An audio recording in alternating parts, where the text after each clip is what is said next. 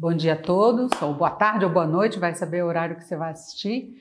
É, meu nome é Mariane Vansleis, eu sou docente aqui do Departamento de Botânica desde 1989, ó, faz tempo, hein? vocês não tinham nascido ainda.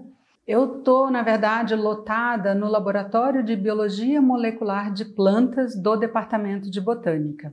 Esse laboratório ele foi criado em 1995 pelo departamento como uma iniciativa de laboratório multiusuário. Então, naquele momento em que ele foi criado, 95, nós éramos docentes de diferentes grupos, que era fisiologia vegetal, aonde eu estava localizada, o laboratório de algas marinhas, a professora Mariana Cabral de Oliveira, e o professor Antônio Salatino e Maria Luísa Salatino, do laboratório de fitoquímica, que vocês já ouviram falar. Ao longo dos anos, é, se considerou que esse laboratório ia ganhar uma estrutura independente para poder fomentar novos docentes. E foi então que é, a professora Magdalena Rossi foi contratada no departamento para integrar esse laboratório de biologia molecular de plantas. Mais recentemente, nós temos a professora Cristiana Calisto, que então ingressou é, junto ao laboratório de biologia molecular de plantas. É, nós temos, na verdade, diferentes linhas de pesquisa. Aqui, especificamente, o grupo que eu lidero é um grupo que está interessado na diversificação genômica, mecanismos de diversificação genômica que atuam na adaptação, seja das plantas, seja de microorganismos, porque o nosso foco é a interação planta-microorganismos, né? Esse é o nosso é, objeto principal. E os aspectos de diversificação genômica estão associados com é, a atividade de elementos de transposição, que eu não sei se vocês lembram, são aquelas sequências genéticas que mudam de lugar. E no caso das plantas, eles atuam como um mecanismo de criar novas redes regulatórias. E no caso de bactérias, que é um dos nossos focos, ele atua permitindo a troca de material genético entre as bactérias e tendo essas o que a gente chama de ilhas genômicas que permitem uma adaptação a essa interação.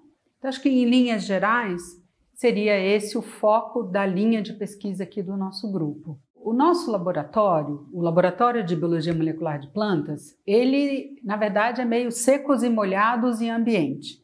Então, a gente tem, e essa área aqui onde a gente está agora, é o que a gente chama de lado seco do laboratório, onde a gente tem a infraestrutura computacional remota, onde os, os pesquisadores sentam e trabalham analisando dados gerados pelo lado molhado do laboratório, onde a gente faz, na verdade, várias análises que vocês viram também em outros laboratórios aqui do departamento, que é, na verdade, a extração de moléculas. Especificamente, o nosso grupo trabalha com a extração de ácidos nucleicos de um modo geral, então DNA, RNA, e a gente prepara essas amostras para fazer o sequenciamento, para que a gente possa interpretar quais são os mecanismos que estão ocorrendo naquele momento da interação planta-microorganismo. Então, nós usamos é, sequenciadores, nós usamos máquinas de PCR, nós usamos gel de agarose, mas nós também temos a possibilidade de visualizar os, a, os momentos de interação através da microscopia. Então, temos um microscópio de fluorescência tudo isso está localizado do lado que a gente chama molhado do laboratório. Lá também a gente tem a nossa central de bioinformática. Então, nós temos um servidor no qual todo o processamento e armazenamento da informação gerada na bancada é armazenada aqui. E a gente trabalha aqui no lado seco, analisando os dados. Então, essa é a grande área do Laboratório de Biologia Molecular de Plantas. Como eu mencionei anteriormente, ele tem um aspecto multiusuário. Então, vários dos equipamentos que estão aqui são usados por pesquisadores do departamento, da biologia, colegas da química, do ICB, vêm frequentar esse laboratório para poder usar da infraestrutura que nós temos disponível. A parte ambiente que eu mencionei é lá fora no Jardim da Botânica, a gente tem uma casa de vegetação que é uma casa de vegetação que a gente chama NB2. Então, ela tem um nível de biossegurança 2. Significa que existem, na verdade, protocolos para a gente poder crescer plantas infectadas com bactérias, então, para poder estudar essa interação. E, por outro lado, também a gente pode crescer organismos em que a gente fez uma alteração genética, então, organismos geneticamente modificados por diferentes tecnologias, não importa, mas que a gente precisa trabalhar numa condição de contenção. Então, essa é a casa de vegetação, que também está, de alguma maneira, vinculada a esse laboratório. Ele nasceu, na verdade, de uma parceria junto com a professora Magda, em que a gente aportou recursos de dois projetos para poder construir aquela casa de vegetação. E mais recentemente, a gente está contando com a contribuição do Marcos, do Igor, da Cris, para a gente melhorar a infraestrutura e ampliar os usos daquela área. E a gente também tem uma salinha de crescimento controlada. Essa sala de crescimento controlada, ela está lá no laboratório grande área do departamento, que chama Unexplant, que é a unidade de experimentação em plantas. Então, nessa unidade, a gente tem o que a gente chama de salinha, e lá dentro a gente cresce as plantas sob luz artificial, mimetizando condições ambientais, mas que a gente pode controlar melhor as condições de crescimento do que numa casa de vegetação.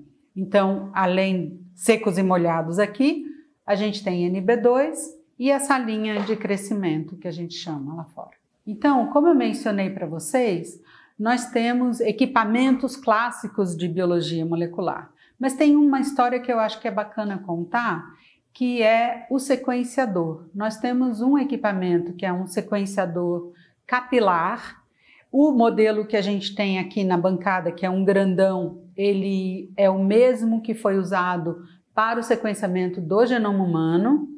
E o primeira, a primeira versão desse sequenciador capilar, ele foi instalado aqui no Departamento de Botânica em 1995, numa parceria com a Mariana e com o professor Salatino, num investimento multiusuário do Instituto.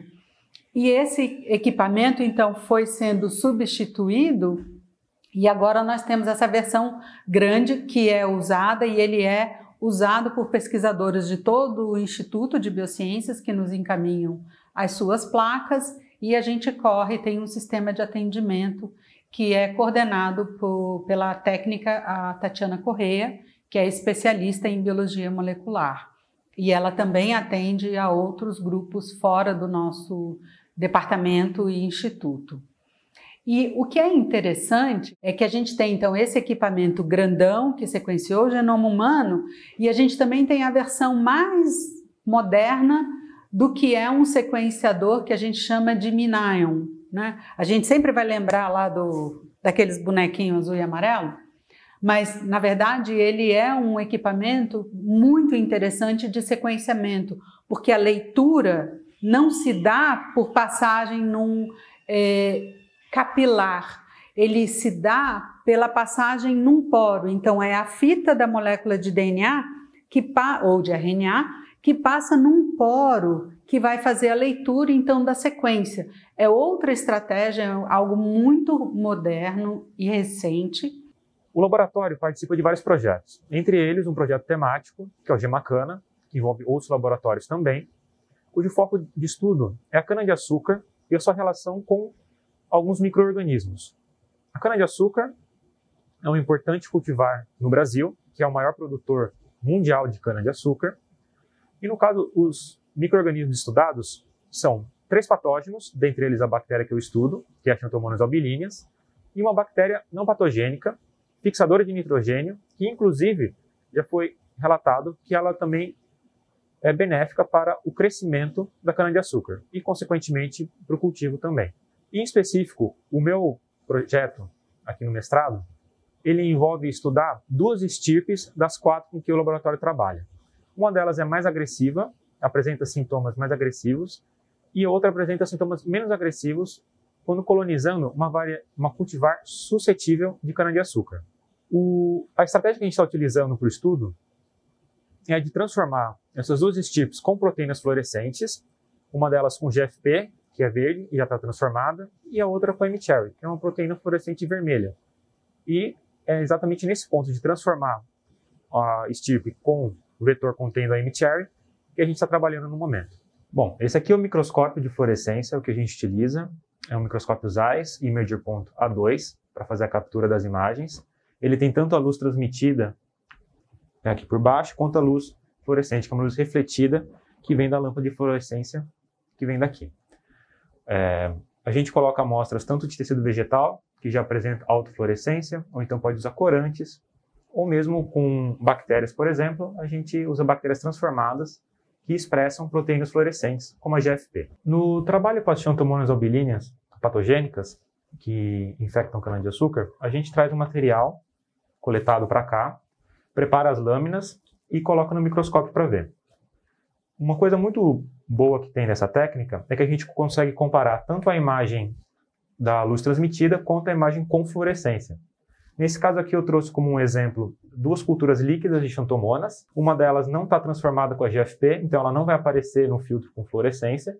E outra que está transformada com GFP, então ela vai aparecer como verde. Essa aqui é uma imagem que tem só a luz transmitida, então você tem muitas, muitas bactérias aqui, só que uma parte delas é fluorescente e outra não. Um exemplo aqui, eu vou mudar para a luz transmitida, a luz refletida, que é a luz com fluorescência, e você tem que mexer no filtro aqui, modificar. E você então consegue ver que o número de bactérias visíveis ali diminuiu. Porque só a bactéria transformada com a GFP aparece no filtro de fluorescência.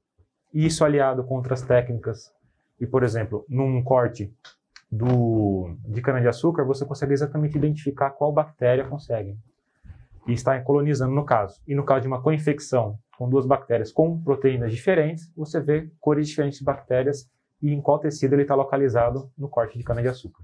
Esse laboratório ele tem é, várias é, contribuições que são interessantes. Acho que a primeira delas é disseminar essa metodologia de biologia molecular dentro do departamento de botânica. Então, acho que essa é uma das primeiras contribuições que eu enxergo que a instalação de um laboratório multiusuário teve no departamento. Mas também, do ponto de vista científico, além da formação de vários recursos humanos, a gente teve algumas parcerias internacionais que foram nacionais e internacionais que foram muito legais. É, uma delas é a história do genoma da Xilela fastidiosa, que é um patógeno de laranjais, né, e que nós participamos do projeto Genoma do sequenciamento do primeiro fitopatógeno. E por isso nós ganhamos é, não só esse laboratório, mas todos os laboratórios envolvidos no estado de São Paulo, nós ganhamos o reconhecimento do mérito científico pelo Estado, pelo governo do Estado de São Paulo. Então, essa é uma contribuição que eu acho que foi bastante interessante e que agregou pesquisadores de diferentes formações para poder desbravar esse genoma bacteriano. E desse trabalho nós temos hoje sugestões de, não nós, mas a comunidade científica tem propostas de controle da doença do amarelinho. É, decorrente desse trabalho, este laboratório foi convidado para participar e liderar o sequenciamento da Xilela fastidiosa, que infecta videiras na Califórnia. Então, foi uma parceria internacional entre a FAPESP e o USDA nos Estados Unidos para fazer o sequenciamento dessa Xilela da videira. E quem liderou esse trabalho, esse projeto, fomos nós aqui do Departamento de Botânica, especificamente esse laboratório. E por fim, eu acho que uma outra contribuição muito bacana que a gente teve foi é, uma parceria internacional, então, com a comunidade europeia, onde a gente iniciou os estudos, assim, no início foi com elementos de transposição, a primeira etapa, com o grupo do INRAD Versailles, aonde a gente estudou elementos de transposição em tomate.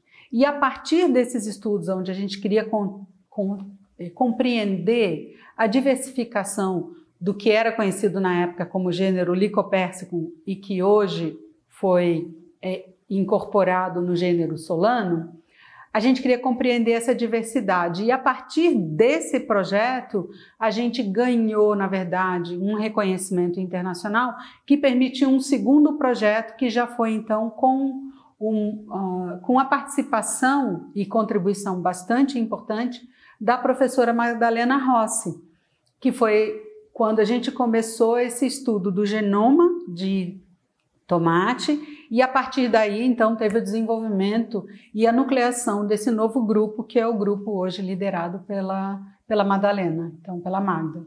Além das abordagens multidisciplinares que temos desenvolvido no nosso laboratório, desde projetos de iniciação científica, mestrado, doutorado e até mesmo de pós-doc, temos investido bastante, massivamente, no estudo do genoma de cana de açúcar. Ah, no ano de 2020, temos feito o sequenciamento do, da cultivar SP80-3280, que é uma cultivar de importância econômica para o estado de São Paulo, e a gente conseguiu mapear cerca de 373 mil genes correspondente a 99% do genoma dessa cultivar. Isso tem sido muito importante, principalmente para investigar a função de alguns genes que podem vir a ser útil no, em programas de melhoramento e até mesmo com abordagens de biotecnologia vegetal. Inclusive, muitos desses programas de melhoramento e projetos de pesquisas envolvendo a biotecnologia com cana-de-açúcar são financiados pelas chamadas BioEM da FAPESP, que tem beneficiado como infraestrutura, fomenta a pesquisa de muitos outros laboratórios no estado de São Paulo, inclusive com muita participação e incentivo da CAPES, CNPq, que tem contribuído e merece uma atenção especial.